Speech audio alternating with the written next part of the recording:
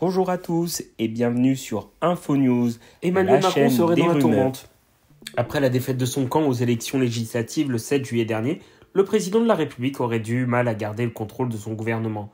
Après avoir nommé Michel Barnier en tant que Premier ministre, le moment est venu de désigner les ministres, mais une nouvelle fois, l'époux de Brigitte aurait eu du mal à faire entendre sa voix. Le journal français révèle que ce dernier temps, il n'a pas choisi les ministres, pas même ceux de son camp. Il n'a rien imposé en nom. On a beaucoup glossé sur la liste qui changeait, mais c'est toujours la même. Barnier n'a rien lâché, qui n'était pas envisageable que les Républicains cumulent l'intérieur, Bessie et l'éducation nationale. Qu'ils se démerdent entre eux. Merci à tous d'avoir aidé la vidéo.